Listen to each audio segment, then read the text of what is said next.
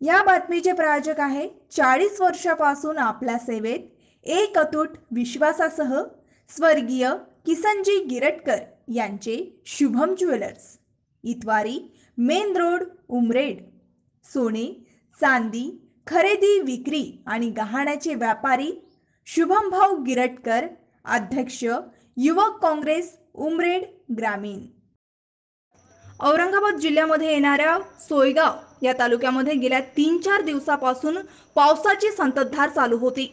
मात्र गुरुवार दिनांक वीस रोजी सोयगाव तालुक्यासह परिसरात अचानक मुसळधार पावसाने जोरदार हजेरी लावल्यामुळे फरदापूर येथील वागूर नदीसह छोट्या मोठ्या नद्या दुथडी भरून वाहू लागल्या. तसेच फरदापूर येथील आठवडी बाजाराची चांगलीच दनादान उडाली.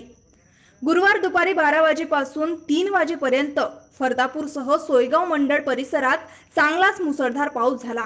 मागील पंधरा वर्षात पहिल्यांदाच एवढ्या मोठ्या प्रमाणात सोयगाव तालुक्यासह फरदापूर परिसरात हा पाऊस झालेला आहे.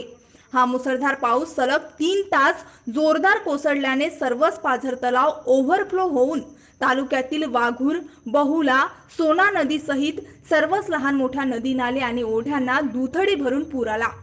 दरम्यान फरदापूर बसस्थानकाजवळील औरंगाबाद जळगाव या महामार्गावरील पस्तीस फूट उंच पुलाच्या कठड्यापर्यंत हे पुराचे पाणी पोहोचल्याचे दिसून आले. नदीचे पाणी अचानक वाढल्यामुळे नदी पात्राजवळ उभे असलेले एक ट्रॅक्टर सुद्धा या पुराच्या पाण्यात अडकले. ट्रॅक्टरमधील मजुरांनी वेळीच सुरक्षित ठिकाणी धाव घेतल्याने या ठिकाणी कोणतीही जीवितहानी झाली नाही. फरदापूर येथील वार्ड नंबर दोन मधील नदी किनाऱ्यालगत घरांच्या भिंतीपर्यंत या पुराचे पाणी पोहोचले होते. तसेच फरदापूर सावरखेडा या गावांना जोडणारा वाघूर नदीवरील नळकांडी पूल हा सुद्धा पुराच्या तडाख्यात वाहून गेला. या पावसामुळे परिसरातील तलाव ओव्हरफ्लो झाल्याने येथील मच्छीमारांनी तलावात सोडलेले मत्स्यबीज पुराच्या पाण्यात मोठ्या प्रमाणात वाहून गेल्याने गोरगरीब मच्छीमार यांचेही मोठे नुकसान झाल्याचे दिसून येत आहे. तसेच तालुक्यातील बहुला नदी सुद्धा रौद्ररूप धारण करून वाहत होती. तालुक्यातील घोसला येथे डागडुजी न केलेला जिल्हा परिषदेचा जुना पाझर तलाव आहे. या तलावात क्षमतेपेक्षा जास्त पाणी आल्याने सांडव्यासह संरक्षण भिंतीवरून पाणी वाहत ते गावात आले. त्यामुळे तलाव फुटल्याच्या अफवेने गावात गोंधळ उडाला होता.